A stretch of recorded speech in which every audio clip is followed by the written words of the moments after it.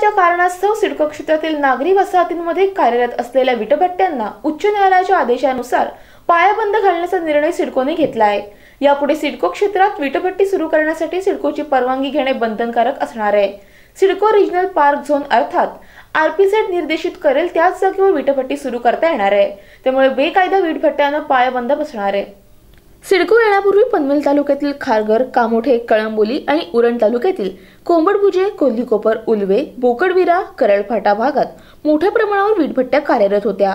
पावसाळ्यात बंद पडणाऱ्या वीटभट्ट्या दिवाळीनंतर पुन्हा सुरू केल्या जातात. सिडकोने नवी मुंबई शहराची उभारणी केल्यानंतर बहुतांश वीटभट्ट्या नागरी वसाहतीने वेढल्या गेल्या.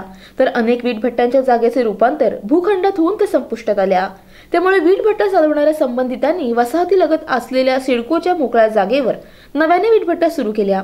विना परवानगी सुरू राहणाऱ्या वीटभट्ट्यांमुळे वसाहतीतील नागरिकांच्या आरोग्याचा प्रश्न निर्माण झाला होता. तसेच पर्यावरणासाठी देखील या वीटभट्ट्या हानिकारक ठरत होत्या. त्यामुळे यापुढे सिडको अधिग्रहित क्षेत्रात विना परवानगी कोणती वीटभट्टी सुरू करण्यात येऊ नये अशी सूचना सिडकोने प्रसिद्ध केली आहे.